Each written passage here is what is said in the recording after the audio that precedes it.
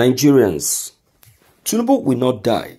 He will be alive to witness his swearing in. Be rest assured. Primate Ayodele won.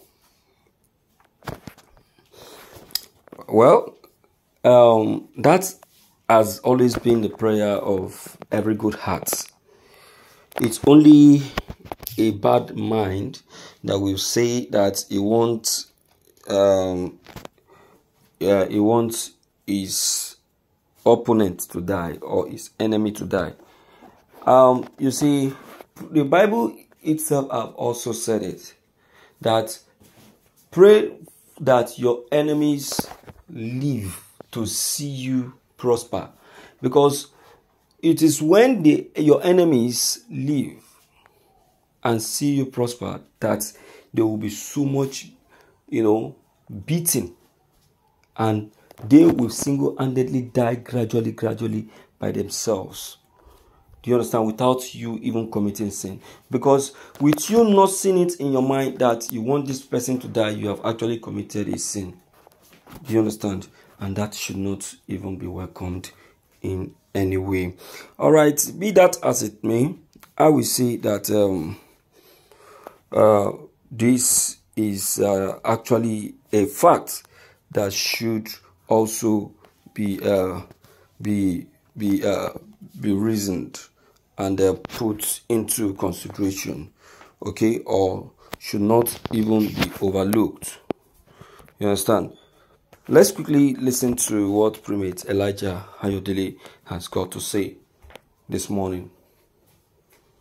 This is morning news Primate Elijah Ayodele, the head of the INRI Evangelical Spiritual Church, IESC, is rumored to have revealed a brand new prophecy in a recent video that he posted on his verified TikTok account. He claimed that the Labour Party LP, the All Progressive Congress APC, and the People Democratic Party PDP would all likely encounter challenges and difficulties according to his word. There will be challenges and internal conflicts for the Labour Party. The All Progressive Congress and the People Democratic Party, IC, PDP, APC, and LP, re-allying. I don't think Obi will succeed in proving that this election was fraudulent.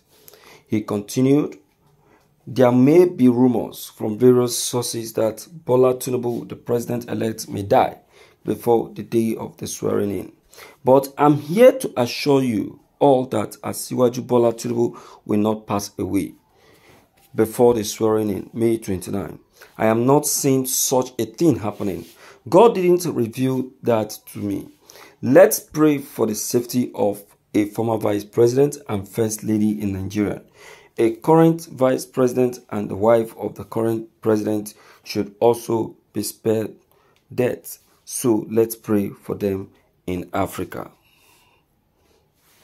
Primate Elijah Ayodele has um, been, you know, emphasizing, you know, he has been emphasizing, he has been beating on this very uh, prophecy. Let us pray for the vice president of Nigerian for the wife of the vice president. but oh my God! See, let me tell you, when men of God give prophecies of this sort, let us not overlook it. Let us hold it with two hands and hmm, walk on it. I want to concur with what Primate Elijah Ayodele have just said because the word of God is here and amen. You don't overlook the word of God. When a warning is given, work on that. As you have said, let's pray. It means that a solution has been found. It means that the plan of the enemy for that very person has failed. When a prophecy of this sort comes, don't take it to be something that is bad. Know it that a solution has come. That is why God made it possible for that very prophecy to be revealed to you. So why don't you just make get hold of that very thing? work on it and see how helpful it can be to you abba my people sure I don't hear it at the talk this is a reality that all of us need to look into and be very sure of all right don't forget let's give you uh, let's key you in into the matter.